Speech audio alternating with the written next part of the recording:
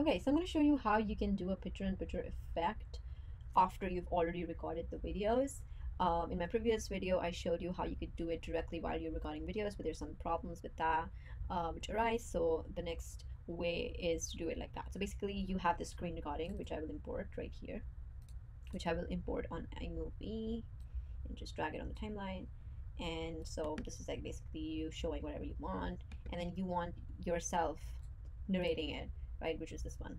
And I would just drag it on top of this and select this video. And there will be this icon this rectangle icon which you need to select.